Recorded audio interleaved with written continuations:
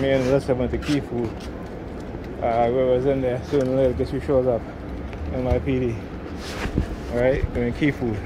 and they walking up and down looking at me. Funny motherfuckers.